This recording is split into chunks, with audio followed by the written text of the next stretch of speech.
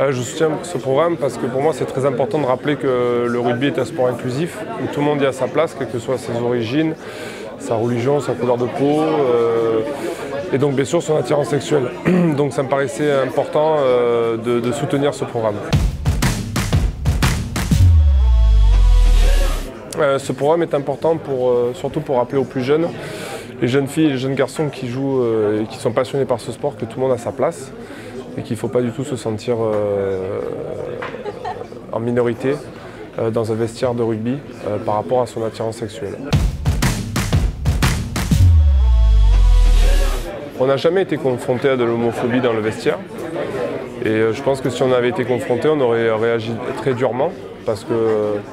on a une, certaine cohésion et un certain sens de la valeur de la solidarité euh, qui est très fort. Et donc quand on touche à quelqu'un euh, de notre vestiaire, euh, en, s'attaquant à, son orientation sexuelle, en s'attaquant à sa personne quelque part, ça pourrait être sa religion, sa couleur de peau, bien sûr qu'on aurait tendance, et, heureusement, à le défendre et, à se mettre en opposition par rapport à ça. Donc si aujourd'hui il faut le rappeler, si un joueur euh, devait faire son coming out ou, se sentait mal à l'aise par rapport à ça, ses coéquipiers,